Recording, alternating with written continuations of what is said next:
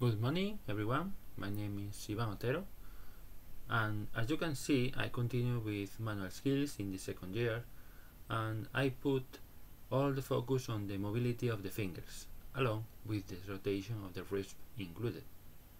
Each flexion, extension, abduction movement is a combination of movements involving not only bones but also muscles and tendons. If we make an unnatural movement, it can have repercussions in a short or long-term injury. Measuring when and how these movements occur is vital to avoid medical losses and therefore reduce the waiting list of patients.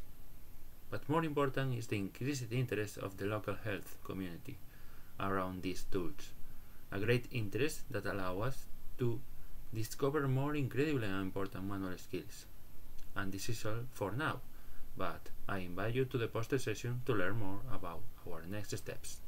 Thank you very much.